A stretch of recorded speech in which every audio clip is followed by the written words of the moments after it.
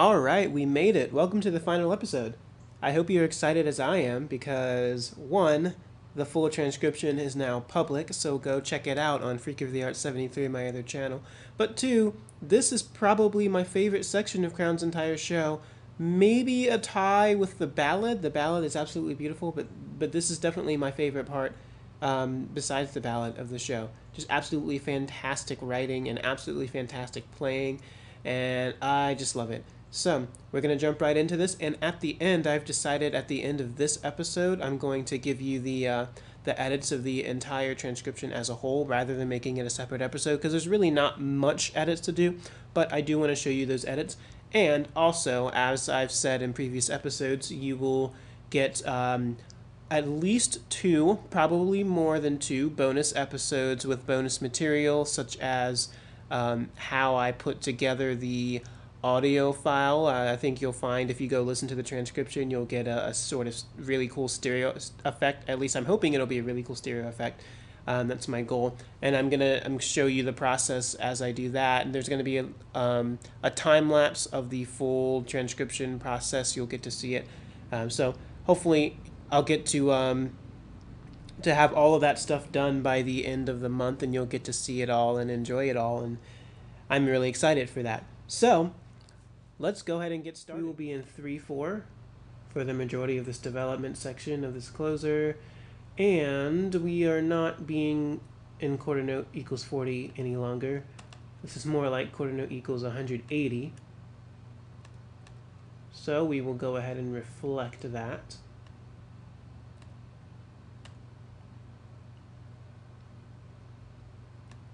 And let's see probably the first one, two, three, four, five, six measures is probably pit stuff. And I know that one, two, three, four, five, six. If we're starting in measure seven, I know that the baritone part comes in on beats two and here, we're going to go ahead and, and put this in B flat major while I'm thinking about it. Same lines. Okay. And actually, I'm pretty sure that this isn't in baritone 1.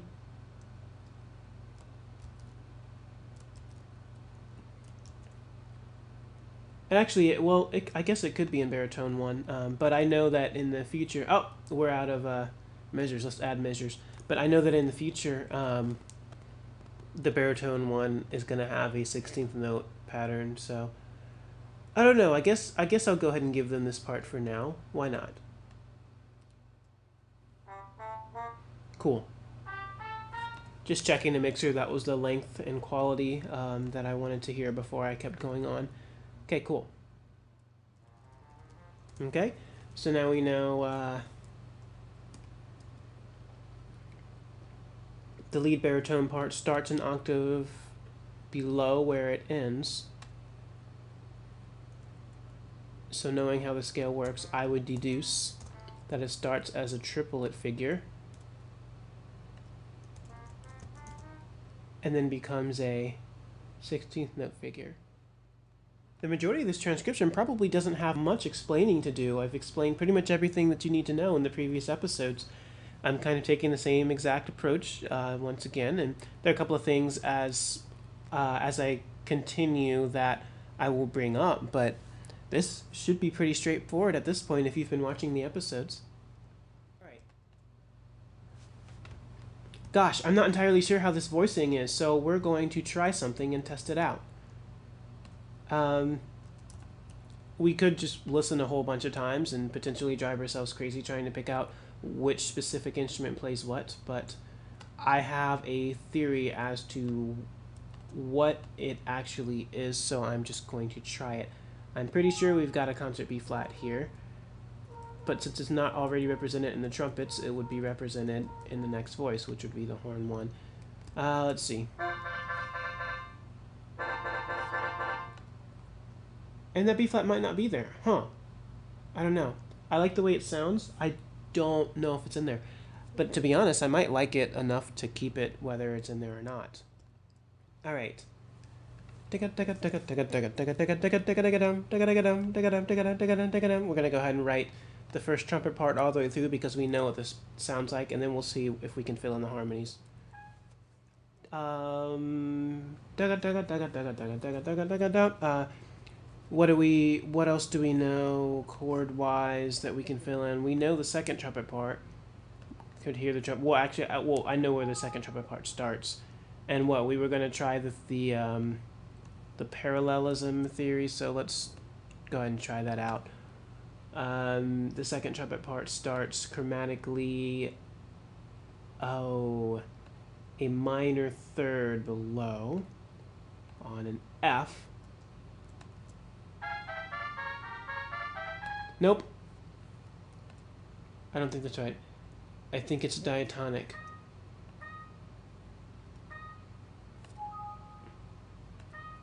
Um, except for that D flat. Try that.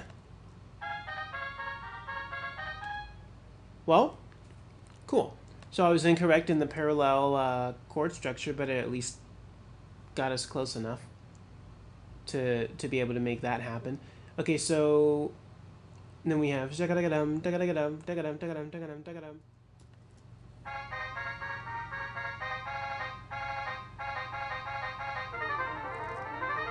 All right. Okay, what else? Do, what else do we know? Uh, we know what the tuba has, don't we? I knew before. I'm I'm I'm blanking on it right now. Yeah, yeah. We do know what it has, and if I'm not mistaken, it starts on a B flat.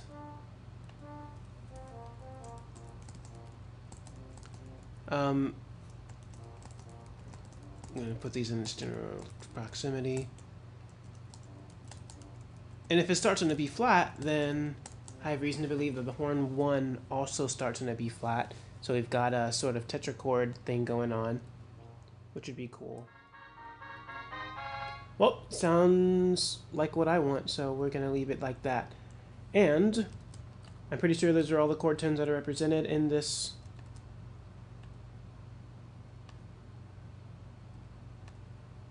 two measure section, so I'm going to assume that that part is doubled on horn. Then we'll double it as so. Which would once again put the baritone 3 part unison in octaves with the tuba part. We'll see how that sounds. Okay. Cool. Anyway. Now we've got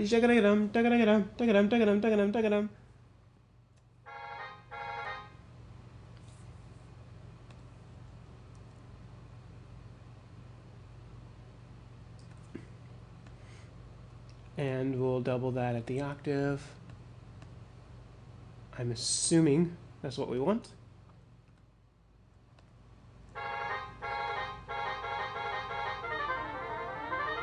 Okay. And, um, of course, we know that the low brass comes in on the next beat. And that's what I think they sound like. Let's test it out. Okay, I think that's going to be, excuse me, I think that's going to be what we want it to look like for our intents and purposes.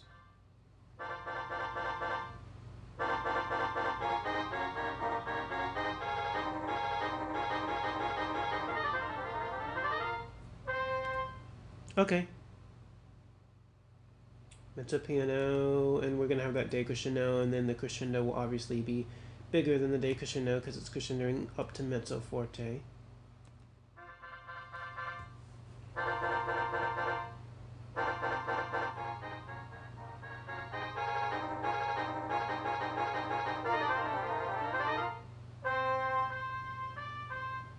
Okay, cool. So now we need to fill in these two measures. Um, and then we'll continue with the rest of this. This should be pretty easy throughout the rest of the uh, through the ending. I think maybe for our purposes we're going to double this part on the horn and double this part on the trumpet. Okay, let's see if this works.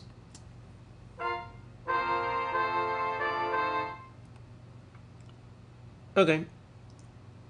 I think that's going to work for my own purposes. Um, dynamic wise, we're going to make this a mezzo piano. And of course we'll have it crescendo. So we'll go ahead and write it in now. This next part that's coming up sounds extremely crazy because it is extremely crazy. but it's not there it's not that difficult at all to uh, to pick out in the context of a transcription series because the runs that are taking place in the first trumpet and lead baritone are pretty much entirely stepwise. So I'm going to show you right now what it looks like.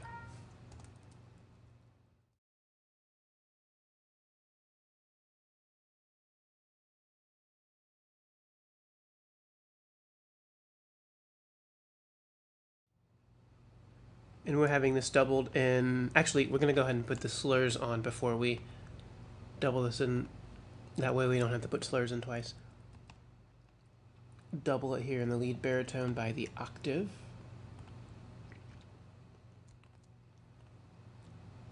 So again reiterating as you can see um, this is all stepwise. And so um, for crazy runs like this, if you know where it starts and you know where it ends in any any particular phrase, like for example, I knew that this started on concert B flat, ended on a F, you know, and I knew the general contour of the line. I don't necessarily have to know what each individual note is and pick them out if I know that it's all stepwise and I know where it turns and, and whatnot. Same thing here from the F all the way over here to this A. You know, it was like I didn't necessarily need to know each individual note. I just needed to know, you know, how long it goes down stepwise, how long it goes up stepwise. It went down for a beat, up for a beat, you know, and, and et cetera, et cetera. And I could fill it in very easily that way without having to try to pick out every single individual note that takes place in all of those 16th note runs. So, just something to think about. Let's listen to this.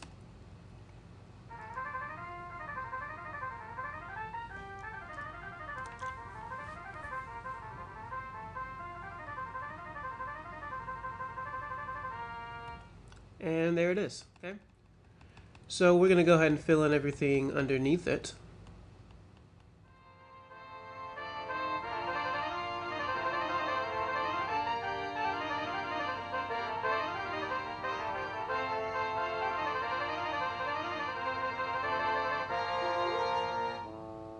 Okay, cool.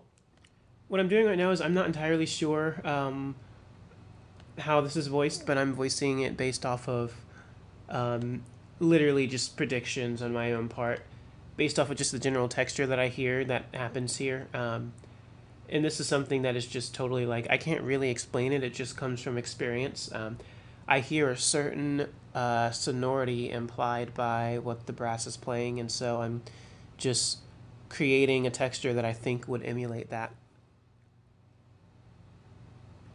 If there if I come up with a better way to explain it or how to show you guys how to do it, I will. Um, I can't hear what the part actually is, but I think to to thicken out the texture that we're looking for, this is going to be the right idea. I might be able to find some luck going back and fixing this, but in this particular case, um, neither of the head cams is showing me what I need, and listening to the professional recording isn't showing me what I need either. It's just kind of buried in the texture for me. I can't pick it out. So um, let's see how this sounds, and, and if it sounds good for me, we'll leave it where it is.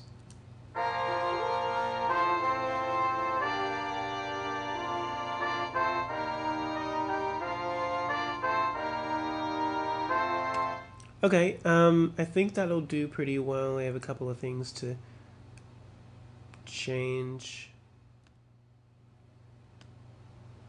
That might be uh, an appropriate doubling at the octave, of course.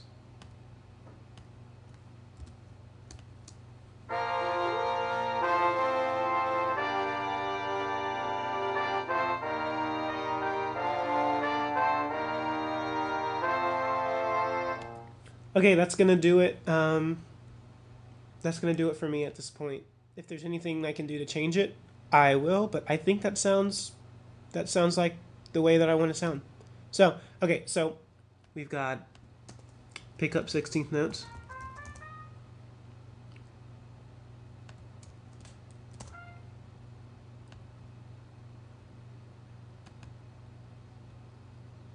And they also take place in the uh, lead baritone down the octave, of course.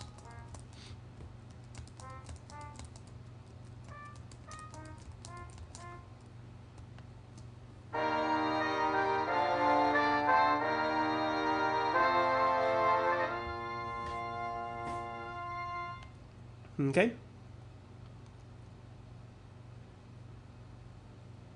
Cool. So this uh, this rest part should be pretty easy to fill out. So I'm going to go ahead and take care of that, and then we'll see what it sounds like. Um, starting with the tuba.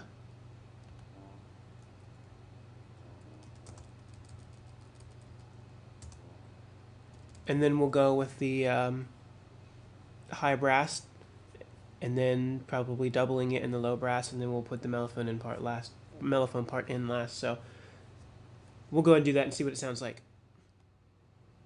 Um, so the reason why I am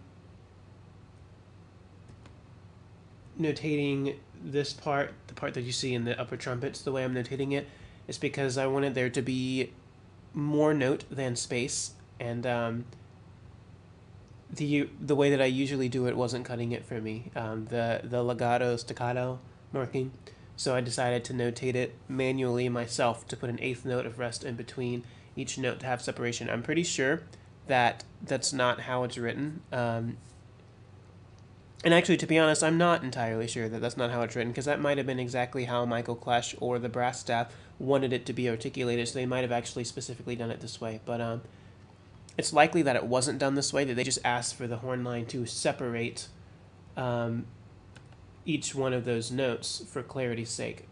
So that's as much of a possibility as it is that they actually wrote it that way. But um, once again, I want it to sound the way that I want it to sound from a MIDI playback, and so I'm going to have it.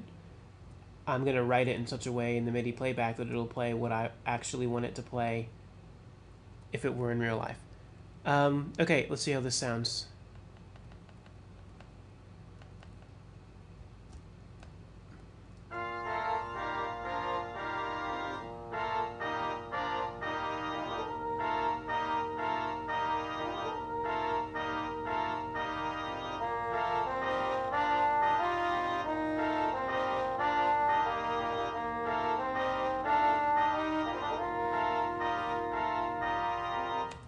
Okay, I think that's going to work. Same thing, not much to show here because I'm doing the same thing I've always done, writing in what I know, um, from the top and the bottom lines, putting in moving lines, and then um, listening to double check myself. So I'll just go ahead and, and uh, cut through this and show you what it looks like when I'm done. It is important to note what I'm doing here. I don't think that there is any sort of block chord structure going on here. Um, and these whole notes, I'm pretty sure they're unison in octaves with this line taking place in the trumpet one, and I have it doubled in the trumpet two for balance reasons as well. Um, and then also taking place in the lead baritone part down the octave. There's a mellophone line that comes in after here that I'll that I'll put in soon. Um, and then the only exception to the octave is a fifth in the euphonium part. And the part is something like this. That might actually be a half note, I don't know, but I think that a quarter note is going to sound appropriate in the context of this particular transcription. Um, with the exception of maybe the first or the last time we have this happen, I will make it a half note. And that's not based off of what I hear, that's based off of just my own intuition, what I think would sound cool. And actually, I'm going to do some doubling as well to bring it out. This is seriously just like for the sake of me wanting this part to be heard.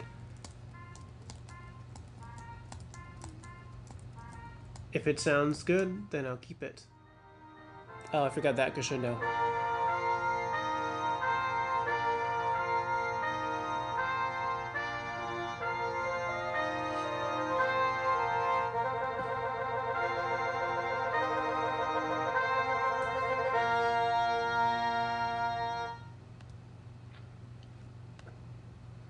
I guess it'll do.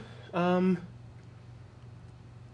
I want to make this ever so slightly slower than than this. So we'll drop it down five clicks once it gets there. Um, we forgot to put this crescendo in, so we'll do that now. Then all we have is the coda and we'll be done with the entire transcription and we'll go back and we'll do um, some edits throughout the entire transcription and then we will call it a day with this episode.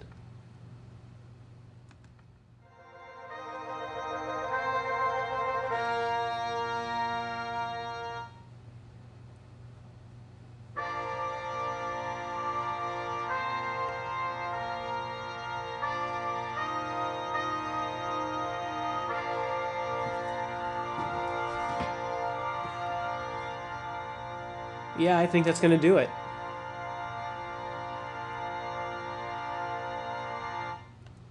Awesome.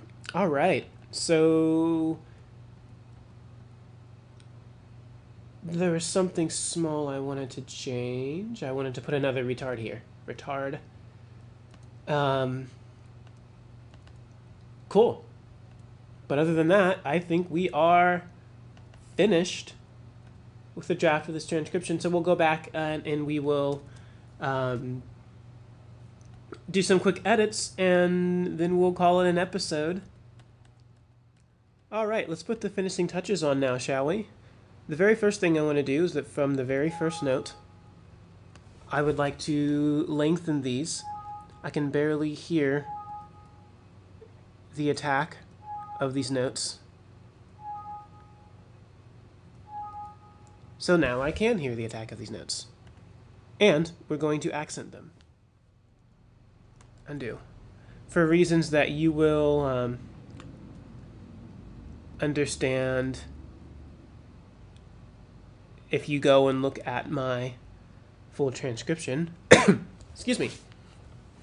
I would like to add the um, the long tone that happens before this, the concert G. We want to add crescendos at the end of, come on, at the end of this phrase. I would like to put a crescendo at the end of this one as well. We're going to add a tuba coming in, whoops, tuba coming in on those last two beats. And I think we're going to put pit cues here because it's such a long rest. We're going to double this part down here because that's what actually happens in the real thing. And this is also an appropriate place to put uh, to put cues. We're going to make this retardando happen on beat 2. And we are actually going to use only go 60 after all. We're going to put a retardando on the last two beats of this whole note.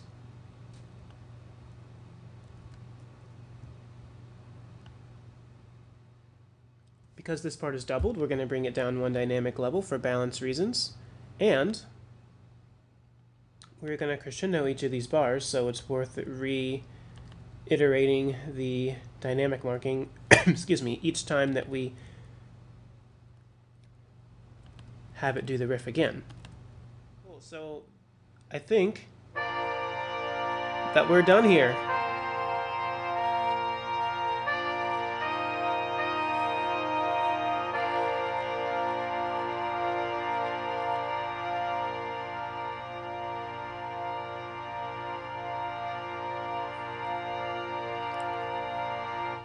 All right. Well, I hope you enjoyed this transcription series as much as I did. Um, it's been a lot of fun putting this stuff together. Like I said before, you're going to see some bonuses, some bonus material after this episode. They should come out in a few days. So take a look at that. Also, take a look at the full transcription on my Freak of the Arts channel. Feel free to subscribe to both Freak of the Arts and MS Grant Music on YouTube. I'll be posting some fun stuff, particularly uh, more actively on MS Grant Music than I will be on Freak of the Arts lately. But if I have another transcription of any sort, you'll see it on Freak of the Arts, and some of the stuff will happen on that other channel as well. So it's a good idea to go ahead and subscribe to both. Um, I have a ton of previous transcriptions if you are not familiar with my work. So go check them all, all out at Freak of the Art 73. There's a playlist that says My DCI Hornline Transcriptions right on that channel. You can watch that. Um, please feel free to go uh, follow me on Facebook. You can also find me on Instagram, and you can also find me on Twitter if you want to. All of those are uh, backslash MS Grant Music. So, go find those, check those out. Is there anything else I'm missing? Um, you can check out my website at msgrantmusic.org. You can also check out my blog at uh, msgrantmusic.blogspot.com, I believe. And if that's erroneous, then I'll I'll put the uh, the correct information up on this video. Um, go check out some of the other videos that I've done if you would like to. Um, but if you don't, like I said, I hope you enjoyed this as much as I do. Um, if you have any questions, please, please, please leave the question in the comments section and I will answer it to the best of my ability. Um, other than that, this has been fun.